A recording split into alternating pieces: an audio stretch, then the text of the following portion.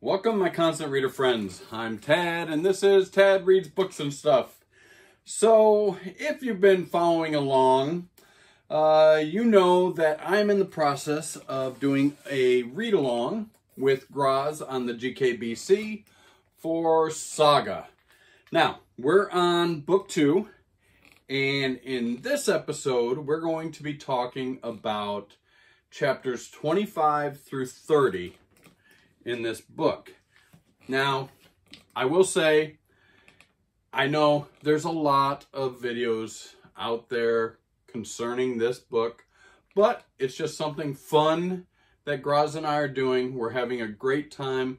I'm really enjoying reading this, and it's just uh, an aside, a, a special video that I do, well, we do, every about two weeks uh, discussing the last six chapters of the book that we've read. So we're on 25 through 30 in this. Now, th th this is just fun. Let's just have some fun here. I took some notes. They already fell on the ground.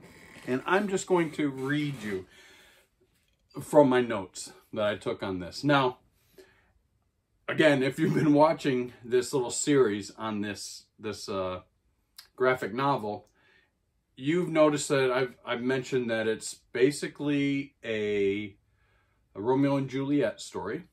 Of course, two warring factions, two different families, two different worlds, and young lovers coming together. Uh, fortunately, they don't commit suicide together, but they do something maybe even worse. They have a child. They have a little girl that now is a mixed race.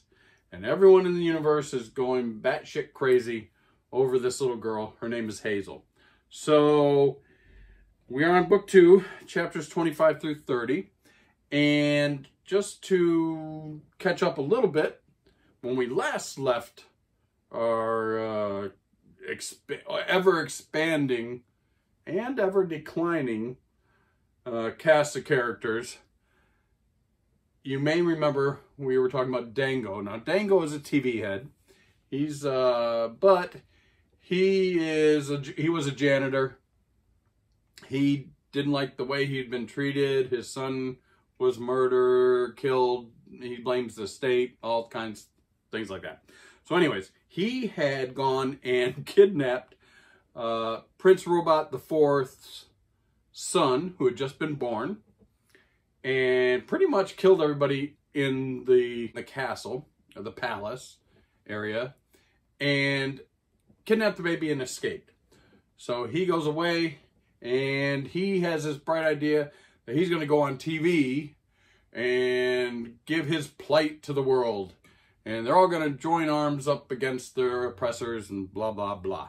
So he goes to the planet that Marco and Alana and the baby Hazel and Mother Clara and Isabel are. Everybody's on this planet where Alana's working as an actress. And he goes, he pretty much kills uh, the whole, all the acting troupe. Uh, Alana had, already left for the day. Then he finds Alana. Um, well, he finds their ship. You remember they're in a spaceship that looks like a tree. Yep. So he goes there and he basically now kidnaps Hazel as well and everyone that was in the tree. Unfortunately, Hazel, or not Hazel, I'm sorry, Alana and Marco had had a big fight. Marco was away eh, when Dango kidnaps him and takes off in the tree.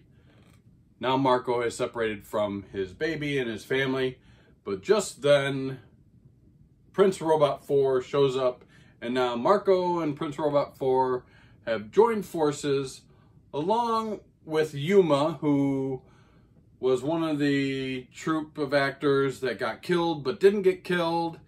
And they find um, Goose, who is a shepherd, because I'm not making any of this stuff up. This this is actually the story. The shepherd can communicate mentally with his sheep, which aren't sheep, they're actually huge walruses, who is now one of the walruses, is a pet for Hazel. And on the tree ship, And so now they're going to use Goose to make mental contact with this walrus so that they can find their kids. Oh my gosh. But the whole time they're fighting. So so that's where we left off. Um all right, so let me just read what's going on. So of course, Marco joins up with Robot Prince 4, Yuma and Goose, and they're now trying to track down the tree ship and their kids.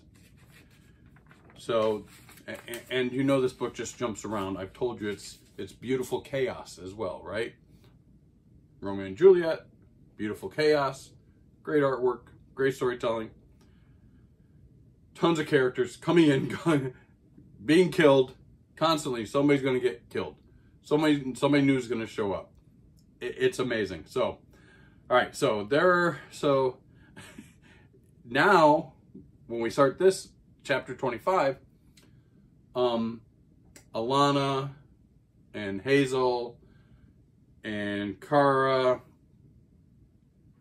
and Isabel are kidnapped, but they're on a planet now that is really cold and doesn't have night. So it's daytime all the time. That's a problem because Isabel, the ghost that has inhabited the body of Hazel and acts as like her babysitter, only comes out at night. And this world they're on doesn't have night, so Isabel's kind of trapped. Isabel hasn't been, she, Isabel's kind of AWOL. So she's not helping out. Sorry, Grozz, I know you love Isabel, but she's not in these these chapters. Um, then we jump, so so that's what's happening with them. then we jump to um, Gwendolyn. Remember Gwendolyn? Gwen, Gwendolyn is Marco's ex-fiance. She's now hooked up with Sophie. I'm calling her Sophie 1 and Sophie 2 Sophie is the Will's sister, Sophie 1. And then Sophie 2 was the child that the Will rescued from Sextillion. It was, I guess, going to be groomed as a sex slave. And they are in a search for dragon sperm because dragon sperm will help heal the will who is on another planet in a coma because Sophie 2 stabbed him in the neck and almost killed him. So they're looking for dragon sperm to save him. So they're on another planet. Wow. Then we go back. Now, a, a ship from the robot planet, the TV heads, finds uh, Prince Robot 4 and their ship that they're on. And they get into a fight and battle. Um, but they jump away. In the process, Yuma got some drugs, some more drugs off a dead person the drugs are tainted. We don't know this. Marco and Yuma start talking about Alana and you got her hooked on drugs and why. And she's like, no, she wanted them. And he doesn't understand why. So he decides to take some of these drugs that Yuma has. And the drugs are tainted and both of them do these drugs and basically go into comas and are on the verge of dying. All right, so then we jump from that back to uh, Dango. And now, Alana and Marco's mother, Kara, are locked in like a cell. And they're fighting all the time, but because it's mother and, you know, daughter-in-law, they decide though that they really need to do something. Can they attack Dango and get out of here or save themselves? So they, they think they're going to do that. Dango comes in, foils that, tells them that he has now made contact because the his effort to be on TV didn't work. Nobody gave a shit. He decides to hook up with this group of mercenaries or revolutionaries, they call themselves, called the Fourth Cell. He's asked them to come now and join them. Alana knows that this is a bad idea because she knows the history of the Fourth Cell and they say the revolutionaries, but they're just in for profit as well. And they're going to just probably sell him out, take the kids, and kill everybody anyways. He doesn't believe it. Of course, that comes to pass. We go back to Marco. Now, Marco, while he was dying, he was passed out almost in a coma himself. He was having strange dreams that brought back a lot of memories to him. And he does come out of it. Uh, he and Yuma come out of this. They don't die, but now Marco has something switched in him. He was a pacifist. Now he's decided he's not going to be a pacifist any longer. He's not going to take any more BS and he's going to start killing people. So, that whole dynamic's changed. We go back to the planet where they're trying. I'm sorry. oh my goodness. We go back to the planet with Gwendolyn and Sophie and Sophia, Sophie and Sophie, and um, they run into Halvar, Halvor, H-A-L-V-O-R, Halvor. And Halvor is the Stalk's brother. They get into a little altercation with him, but he brings them an earlobe. If you think I'm going crazy, that's how this book is. This is how this story is. So Halvor shows up, then blah, blah, blah. He goes, they get, they finally find, he helps them find the male, the only remaining male dragon so they can get his sperm. Let me tell you something. If you're reading this, you don't know from page to page what the hell is going to happen. Craziness happens. Scenes that you cannot believe are going to happen, happen. Even though I'm telling this story, I'm leaving out so much that you just sit there. Sometimes I sit there in awe. I'm like, oh my God, they just did that. What the hell did they do? Constantly. But it's still beautiful. It's still totally fun and totally exciting. So you're going to turn a page and you're going to see something that you never thought you would see with your own eyes in a comic book. I'm just saying.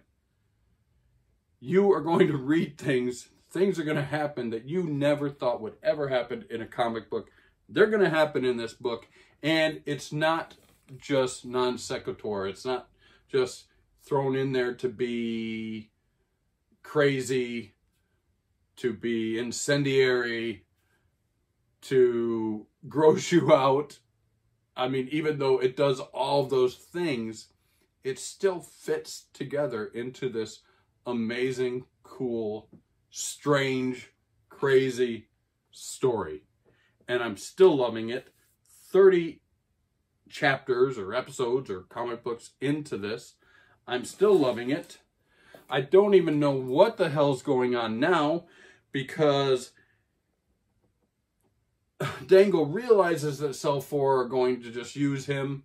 So they get in a fight and they kill the leader of the Cell 4. Then they get into a fight with the rest of the Cell 4. They kind of break loose. Dango goes running after them, and guess who shows up on that planet now? Yep, Marco and Prince Robot 4. Prince Robot 4 kills Dango, and I don't even know what's going on. Hazel now, I just, I saw a picture of the next chapter. Hazel's going to school? Or what?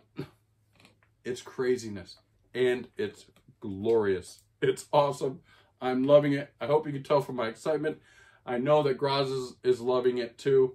Um, we're just having fun reading through this and talking about it on our channels. I hope you enjoy it. It's it's just super fun. If you haven't read it or you're on the shelf about reading it, or you just think it's it's overhyped because everyone talks about how great it is, do yourself a favor and just read it. It's just fun. You get home from work and uh, you've had a bad day or a tough day at work, and you can just have this sitting on your end table by your couch or your chair, your recliner, or whatever, and you just pull it out and you can just read. It's not, you know, it's not a hard read, but the the graph. I can't even show you the graphics because you never know what you're going to flip to. It, it might be not safe for work, not safe for anything, but it still has meaning and it still perpetuates the story forward. It's great. I'm loving it. Can't read to, wait to read the next six chapters. I'm sorry I'm a little late with this video, but things happen, and here it is now. So I can't wait to see what Grozz says about it. And please check out his channel as well. I will link it, of course, in the description. And I don't know. Let's see what happens next. I'm just having fun with it. I hope you're having fun too. All right, guys. Thank you for watching. If you found any entertaining value in this video, please like, subscribe, leave me tons of comments, and as always, peace out.